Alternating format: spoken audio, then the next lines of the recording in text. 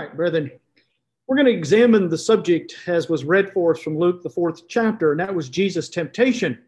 And so the question we're going to be asking ourselves this morning, I'm not,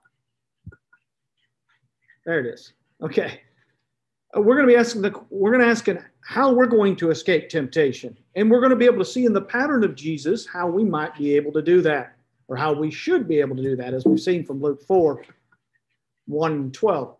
Now, Think about this. When we think of sin, as Romans tells us that we have sinned and fallen short of the glory of God, we all know that we have sinned and need the salvation of Jesus. And so most of us think of Jesus as, again, the perfect sacrifice, and rightly so, because he is the one who had no sin. In fact, no sin was committed by him, as the Philippian writer will tell us in Philippians, the second chapter. However, Sometimes I believe that there is a disconnect. A serious concern that we might need to address this morning is that we sometimes disconnect Jesus' perfect sacrifice with his example. Because the Philippian writer likewise tells us that Jesus, though he did not sin, he learned obedience. In other words, in the flesh, Jesus walked among men and he lived perfectly by, again, the will that man is given to do so, the ability that man receives. And so, therefore, it is not inevitable that we must sin. It is not expected that we should sin. It is likely that we will sin. And therefore, Jesus' sacrifice was necessary. It was necessary just because of the sins that happened prior to his death and it has been necessary since then because of the sins that men have committed since then. And yet, at the same time, the gospel account, in particular the one that we'll examine this morning, shows us very clearly that we can escape temptation by Jesus' example. In fact, Jesus shows us the way that he did not sin. He showed us, shows us the way that we may escape the temptation that is set or set before us. And that's what we'll see this morning. Now, I want to make it clear that this is not the only occasion that Jesus is, is tempted. We classically think of it that way because it's listed in such a way. These are the temptations of Jesus as recorded in Matthew, the fourth chapter, verses 1 through 13, and Luke 4, 1 through 12. However, Jesus, throughout his ministry, was tempted so often. And again, Satan hoped to entrap him, to ensnare him, because if he could do that, then man would be lost because of God's grand scheme to save man through the perfect sacrifice of Jesus, the one who could take the place for us, the one who would accept the guilt for the sins that we have committed. Therefore, we need to see how we're going to escape temptation just as Jesus did. Let us examine this morning. Next, next slide, please. First point remember the scriptures. I really, that is what it teaches us. If you think about what we see here and how we're going to escape temptation, then you learn very clearly that we can do that if we remember scripture. Jesus shows us that. Notice in verse 4 of our text, Jesus tells very plainly to Satan, It is written. It is written. And he makes it very clear from Deuteronomy 6, the chapter, verse 13, and chapter 10, verse 20, which he is quoting The man shall not live by bread alone now, there are some versions in text, especially if you're losing the Nestle's, the NU as it's called, it's United Bible Society and Nestle, that, that says that maybe the, the majority or the, the newest text does not have but by every word of God. But you know that that is still the case. That it is true and it is so that man shall not live by bread alone, but by the word of God. That's the implication. In other words, man does not need to be sustained ultimately by food, by the necessities of this life is the ideal. Well, we're sustained by them fleshly. And the requirement and expectations is that we would eat in order to nourish this body. But I think sometimes, friends, we get in, uh, we get consumed by the necessities. We get consumed by the needs of this life so that we forget.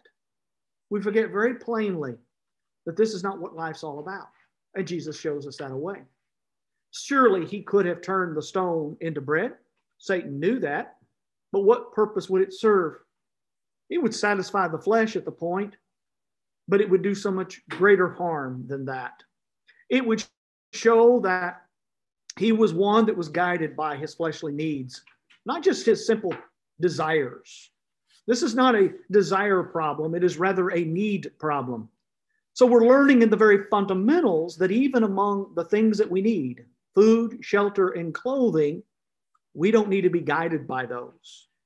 It's too easy to become consumed by those necessities, and especially in troubling times, to give all of our attention and our, our, our worry and our concern over those things. Friends, I'm not suggesting that we do not have to give due consideration or that these things will not trouble us. But they cannot guide who we are. They cannot make us who we are because man cannot be guided but by the word of God. And therefore, all the other things that we are concerned about, we must give God, give it over to God, that is, when we cannot do for ourselves. We need to give God the opportunity to sustain us as he does with Jesus. If we are to die in the flesh because we do without food, because we hunger, we starve, as we say, unto death, what have we lost? We lost our flesh, but that's all we've lost we lost that which we would lose eventually anyway. Now, think about that.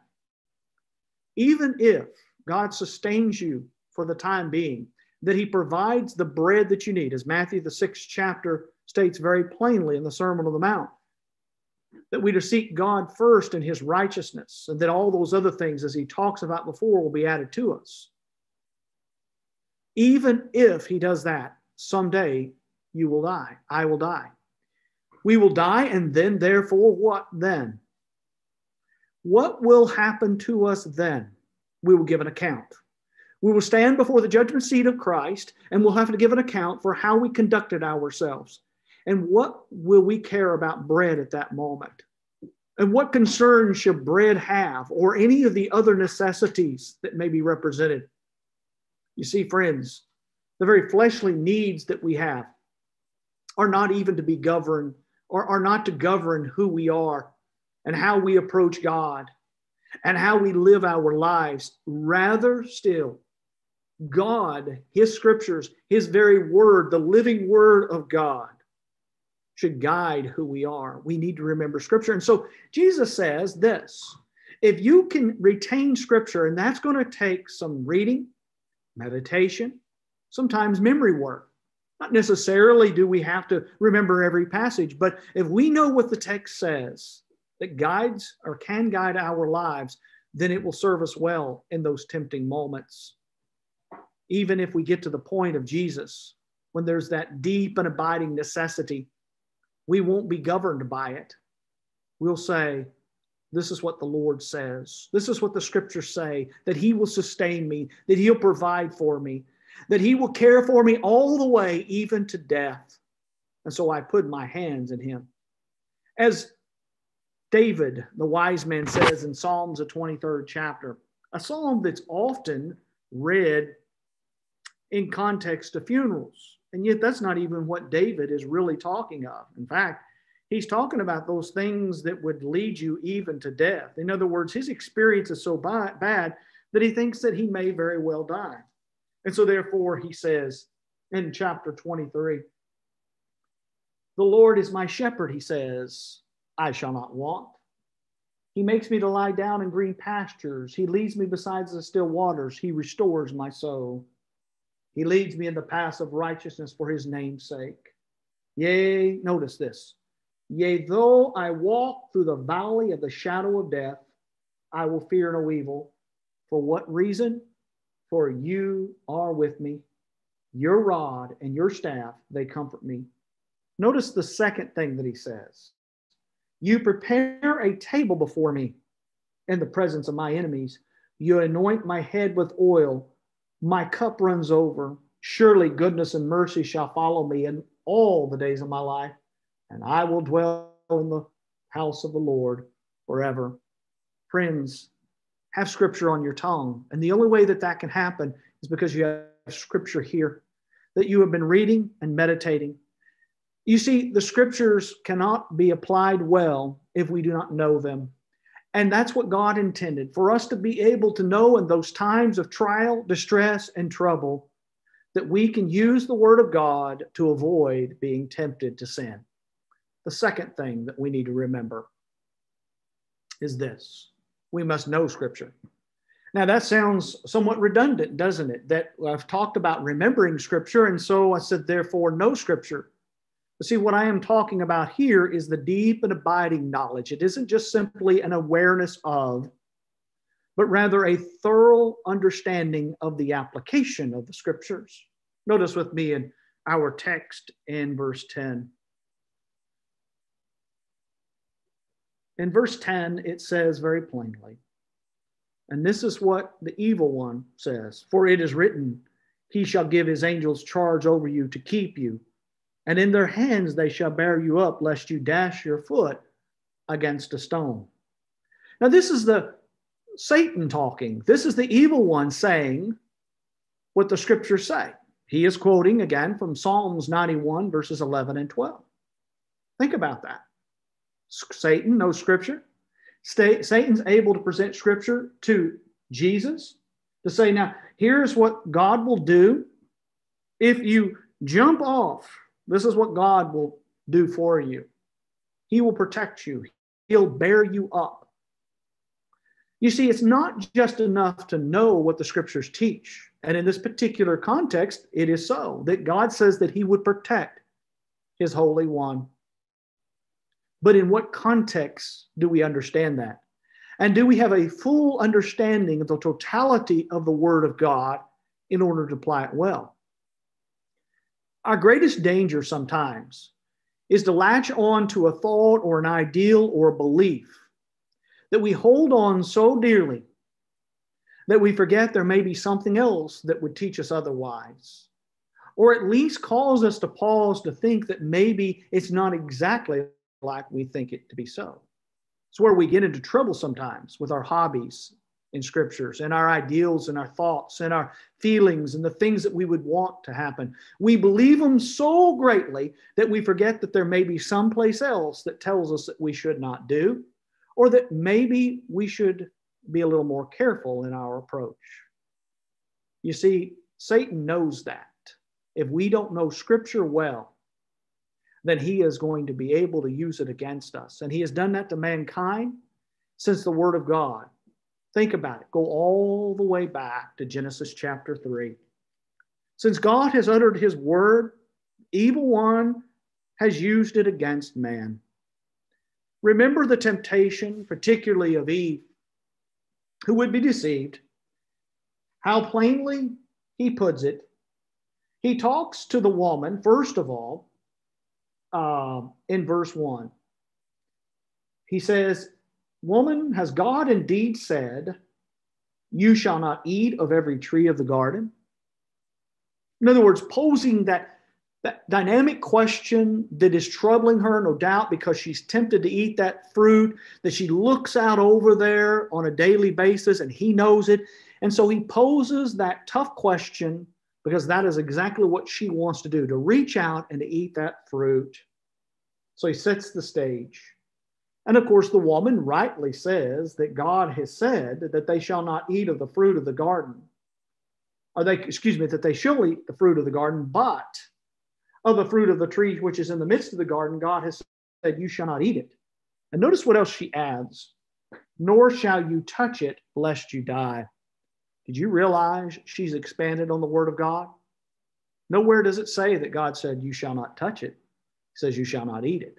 It might be implied because it would be a great temptation to avoid it, you see. But it does not change the fact that she's showing her antagonism to the will of God. She's showing that her desire is for something that God has said she shall not have. You see, that lust of the eye, the lust of the flesh, and the pride of life are all encompassed in this temptation, just as it is with Jesus. The serpent would say to her in verse 4 Woman, you will not surely die. For God knows that in the day you eat of it, you will your eyes will be opened and you will be like God, knowing good and evil. There are two things that we need to recognize by that. Number one, he lies. You shall not die. God said they would. But he sets that lie up for the next thing that is a truth. We might call it a half truth. If not applied right, you'd misunderstand him. He says very clearly that your eyes will be opened and you'll be like God, knowing good and evil. Friends, they did know. I don't know about like God in every respect, but at least in the sense of understanding the distinction, but they would have the experience, you see. They would have the very explicit awareness of sin, be good and evil, that is, because they would have experienced both. That is something they did not need. That is something that they should not have been searching for, because though that is so that their eyes would be opened, it did not mean that it would be a good thing. Because in the process of their eyes being opened, they would experience what was evil and it would harm them forevermore it had that damage, damaging effect. It would not only kill them physically, because God says, You shall surely die, and it really has dual meaning that they would die in the flesh, but they would also die spiritually, that they would be separated from God.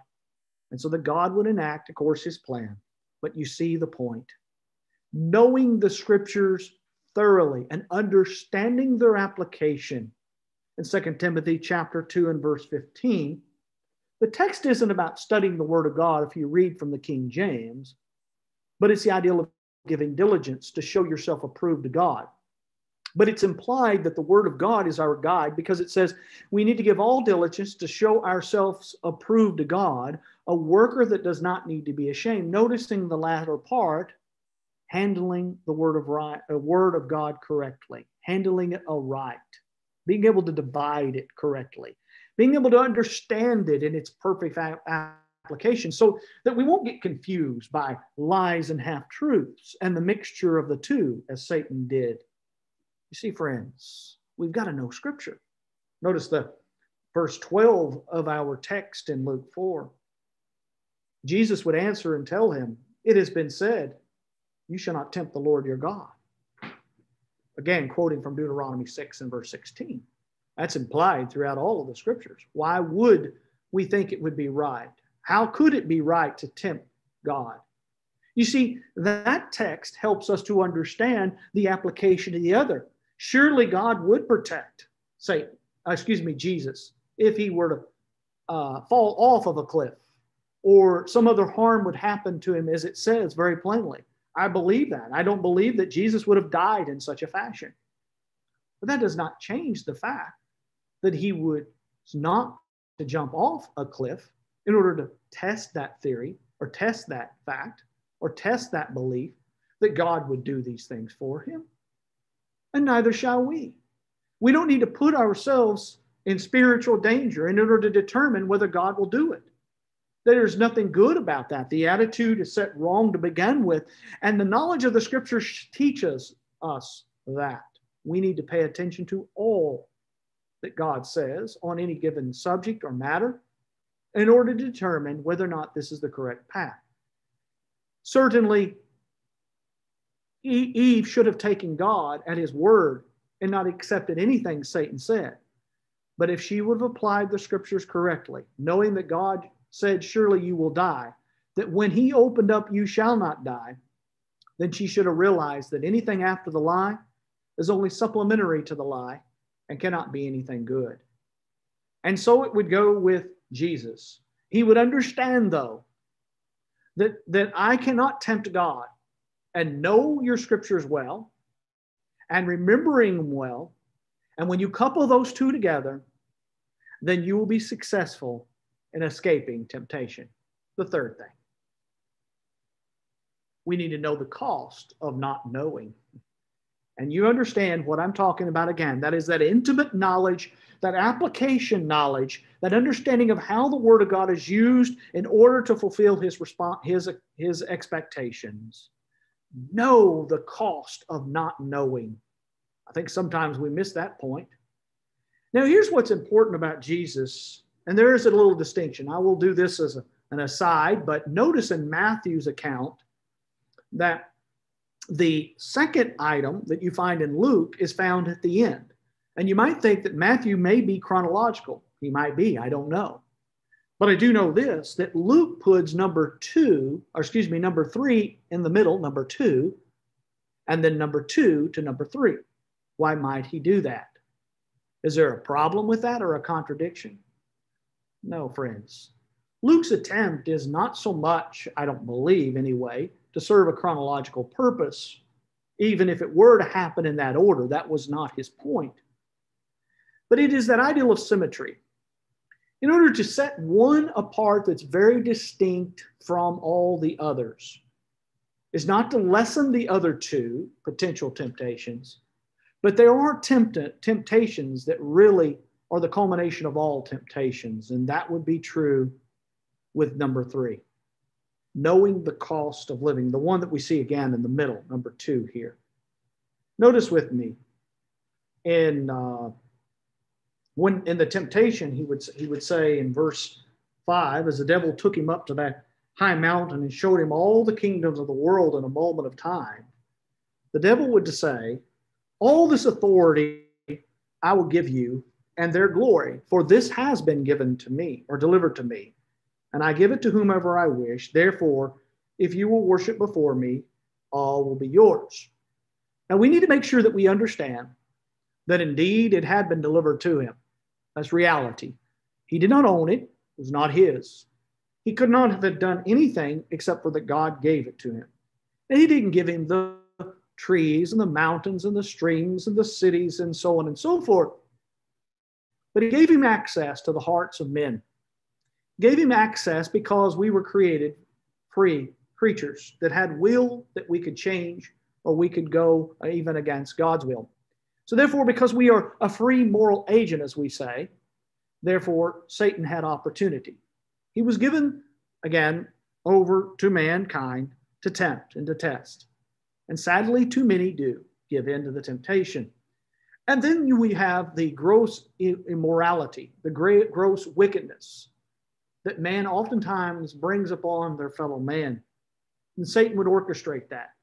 That is really what was behind all the persecutions during the Roman age, particularly in the latter part of the first century, the second century, up into the first and middle of the third century. That Satan would be the great dragon that would orchestrate everything, that would manipulate, would influence the beast, that is the Roman imperial power, and the Caesars who would, would lead all, all of that. And so what we find here is that he has the power to give him all of this. Now, think about that. How could he give the Holy One of God, the divine person Jesus, who came from heaven, who is not created, all of these things? Now, remember, he's in the flesh. Jesus has come in the flesh. Satan, of course, does not have flesh. Satan is was created as an angel. He's a spirit. He is in the spiritual realm. So consequently, he is not a flesh, but he is able to give Jesus these things. In what context would he give him these things? Remember, he's the creator. He is the living word, as John 1 tells us very plainly. So you might imagine it would be impossible, and this would be an absurdity. But I'm going to tell you, friends, there is a way. Look at Luke 22, verses 39 and 45. A way to understand this probably more correctly than we might have ever. One that would help us to understand how this temptation was very real. And maybe that this temptation, as I said earlier, being the most important, would be the one that would destroy all things, more so than any other. In Luke 22, verse 39, we find Jesus in the Garden of Gethsemane. As he says, as they went out to the Mount of Olives, as he was accustomed to go with his disciples and following him, he came to the place and he said, Pray that you may not enter, notice, into temptation. And he was withdrawn from them about a stone's throw, and he knelt down and he prayed, saying, Father, it is your will. If it is your will, take this cup from me, and nevertheless, not my will, but yours be done. Then an angel appeared to him from heaven, strengthening him and being in agony. He prayed more earnestly. Then his sweat became like great drops of blood falling down on the ground. And later on, it says he would rise up. And of course, it was his time. He asked him about sleeping. And the last words that he would say would be, what he said to begin with Rise and pray, lest you enter into temptation. You see, this whole garden scene was a tempting scene for Jesus. He is praying that the cup would pass from him because he knows that he does not want to suffer these things.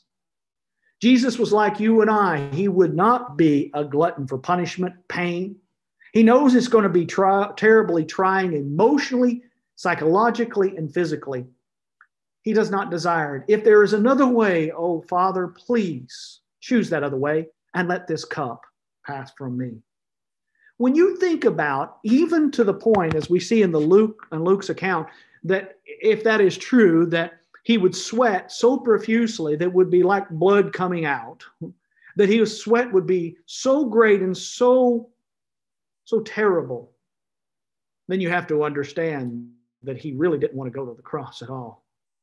When you consider the fact that it is a cold night later on, Peter and the rest will be in the courtyard of the high priest. And what are they doing? But warming themselves around the coals of fire. It's a cold night. Cold night in this garden along the terraced hills.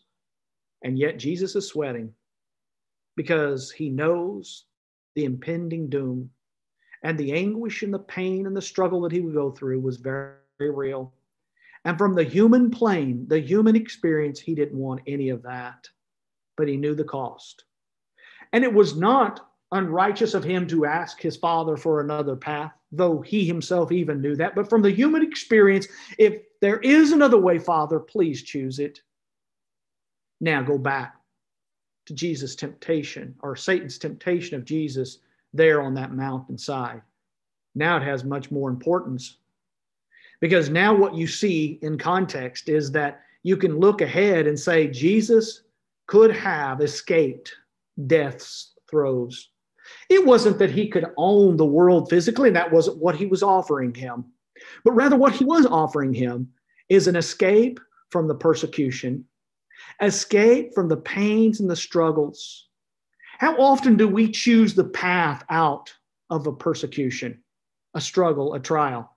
That we take the easy path because, again, it's the safe one for us physically. It provides us a way that we can escape the punishment, the pain, the strife, the struggles, the anguish, and yes, even death.